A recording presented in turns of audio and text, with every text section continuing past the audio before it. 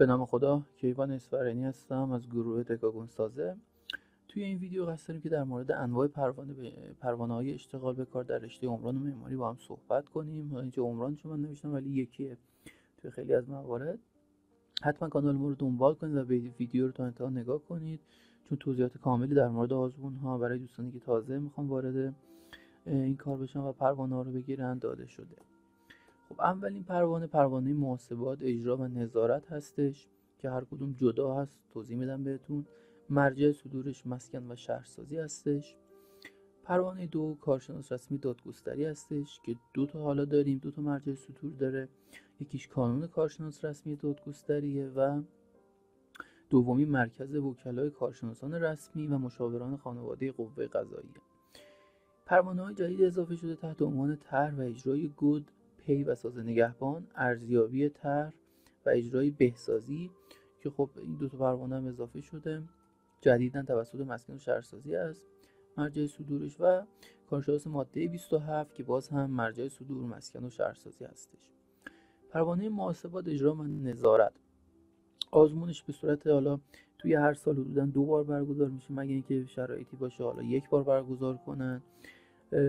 بعد به کسایی که حالا قبول میشن داخل آزمون گرایش پای سه رو میدن. یعنی پروانه اشتغال به کار پای سه رو میدن توی اون گرایش مربوطه و که می‌تونن با دوره های هر چند یک بار افزایش بدن اون پایشون رو. آزمون به صورت تستی هستش و منابع آزمون به صورت جزء باز هستش. استفاده از ماشین حساب مجاز هستش. توی این امتحانات سنوات سوابق کار حرفه‌ای حداقل. برای مقطع کارشناسی سه سال برای کارشناسی ارشد دو سال و برای دکترا یک سال هستش. یعنی شما سه سال باید از مقطع کارشناسیتون گذشته باشه تا بتونید امتحان بدین و قبول بشین و حالا اون یه سری کلاس داره کلاس ها رو برین تا پروانهتون رو بتونید بگیرید. برای هر قسمت محاسبات اجرا نظارت هم هر کدوم یک امتحان جداگانه ای داره. درجات پروانه اشتغال به کار میشه شامل پایه 3 دو یک و ارشد که جهت ارتقا از پایه 3 به دو. داشتن حداقل 4 سال سابقه کار حرفه‌ای پایه دو به یک حداقل 5 سال و پایه یک به ارشد حداقل 6 سال سابقه کار حرفه‌ای لازم داره. اما کارشناس رسمی دادگستری.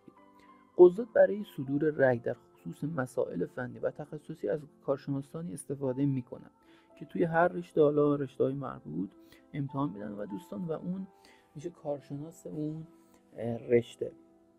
در ابتدا تنها کانون کارشناسان رسمی دادگستری اقدام به جذب کارشناسان می‌کرد. از سال 1380 مرکز کارشناسان رسمی قوه قضاییه نیز با برگزاری این آزمون جذب کارشناس رو انجام میده. آزمون ها توسط دو نهاد مجزا برگزار میشن. اما همونجور که گفتم بهتون ماهیت کار این دو یکیه و انگار یک فرقی نمی‌کنه از کدوم شما بگیرید. آزمون معمولا سالیانه و گاهی چند سال یک بار برگزار میشه. حالا بسته به اون نیازی که وجود داره. ممکنه یک استانی اصلا ظرفیتش صفر باشه برای چند سال.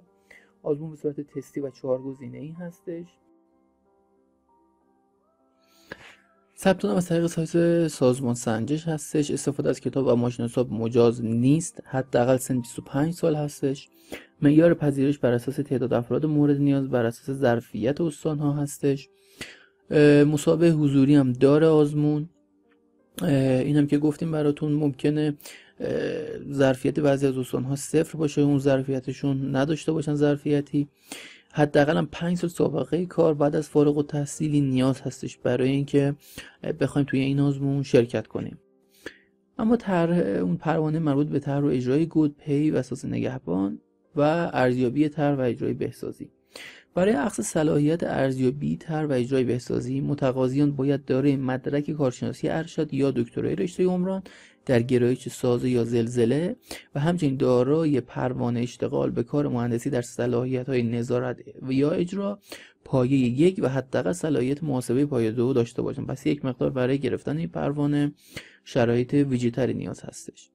حد نصاب قبولی در های ورود به حرفه مهندسان در رشته عمران صلاحیت های تر و اجرای گود پی و اساس نگهبان و تر و اجرای بسازی 60 درصد می باشد توی قوه تو اون کارشناس رسمی دادگستری هم 60 درصد حدودا. حالا بعضی از سالا بالا پایین میشه. آزمون نظام مهندسی 50 درصد هستش. اما کارشناس ماده 27 ثبت نام از طریق سایت مقررات ملی ساختمونه. آزمون به صورت تستی و چهار گزینه‌ای بوده و به صورت جزء بسته برگزار خواهد شد. عضویت معتبر در سازمان نظام مهندسی ساختمان استان الزامی است.